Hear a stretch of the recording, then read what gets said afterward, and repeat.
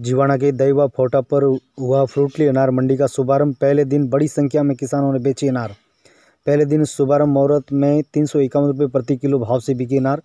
शैला क्षेत्र में बहुआयात मात्रा में अनार की उपज हो रही है. ऐसे में महाराष्ट्र सहित विभिन्न राज्यों के व्यापारी भी यहाँ अनार को देखते हुए आकर्षित हैं. जीवाणा कस्बे के पास शनिवार को शांगणा फाटा दैवा में फ्रूटली अनार मंडी का शुभारंभ हुआ. अनार मंडी का शुभारंभ मीठा मठ के महंत उम्मीद गिरजी महाराज जी के सानिध्य में वैदिक मंत्रोच्चारण एवं पूजा पाठ के साथ हुआ। पहले दिन मंडी का शुभारंभ मुहूर्त में दईवा के किसान खेत सिंह की अनार तीन सौ इक्यावन रुपये प्रति किलो के भाव से बिकी।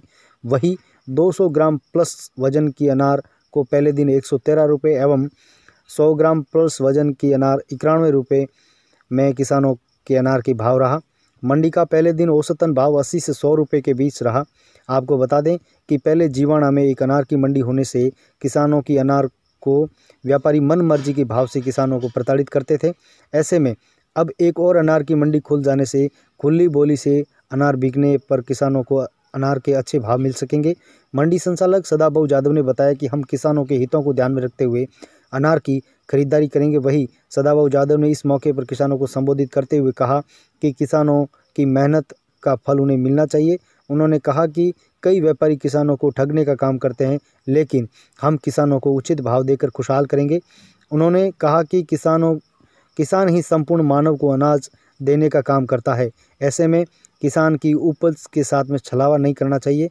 इस मौके पर मांगीलाल विक्रम माली दिलीप कुंभार नीलेश सिनोलीकर, महादेव जादव सहित मंडी के प्रोपराइटर एवं महाराष्ट्र, हरियाणा, बिहार, बेंगलुरु सहित विभिन्न राज्यों के अनेकों व्यापारी मौजूद थे। मंडी शुभारंभ कार्यक्रम का मंच संचालन पुणे यूनिवर्सिटी में सेवा दे चुके प्रोफेसर नीलेश सिनोलीकर ने किया।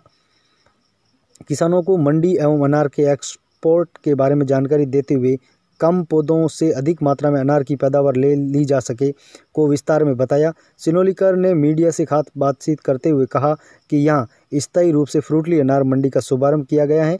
अब हम यहाँ के क्षेत्र के किसानों को अनार की खेती को लेकर विशेष जानकारी देकर अनार की खेती से किसानों को कैसे उन्नत बनाया जा सके, इस विषय को ध्यान में रखते हुए किसानों के खेत में जाकर किसानों को अनार की अच्छी क्वालिटी एवं कम लागत में अधिक पैदावार ली जा सके, ऐसी ट्रेनिंग देकर यहाँ किसानों को फ़ायदा पहुँचाने का प्रयास करेंगे।